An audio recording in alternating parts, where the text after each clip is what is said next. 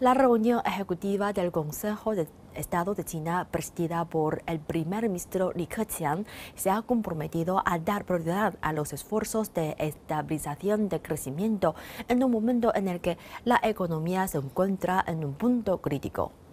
La reunión confirmó que el gobierno no adoptará una política monetaria excesivamente expansiva y al mismo tiempo se compromete a impulsar la demanda interna mediante incrementos del consumo efectivo y de la inversión.